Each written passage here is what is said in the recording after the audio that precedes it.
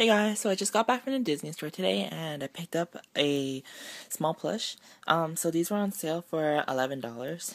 Um, and yeah, it's supposed to be 22 in Canada, but anyways.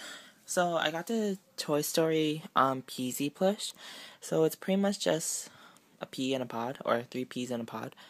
And it's just really uber cute plush. So it comes with a zipper and you just unopen it and you unzip it.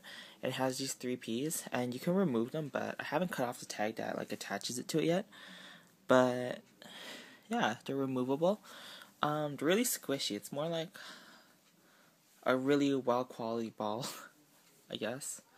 So I'm just gonna like quickly remove it from the skin because it's like um, I haven't cut them yet. So the inside is sort of like not as well as the fabric. It's not as soft as this. It's like um, something you would use for like cleaning dust or something. But I guess that's supposed to be the design since it has like these small dots.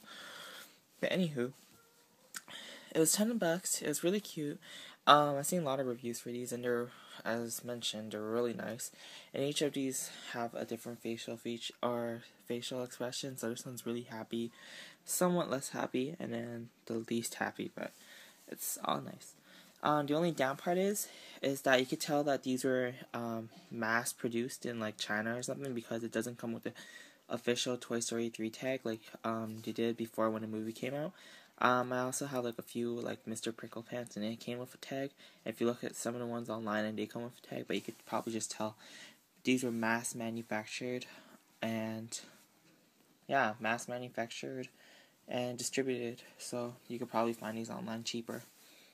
But yeah, other than that, I'm pretty happy with this. Um, if I do find one cheaper with the nice tag, I might return it. But other than that, I'm really happy. It looks cute. And yeah, hope you enjoyed it. And thanks for watching. Bye.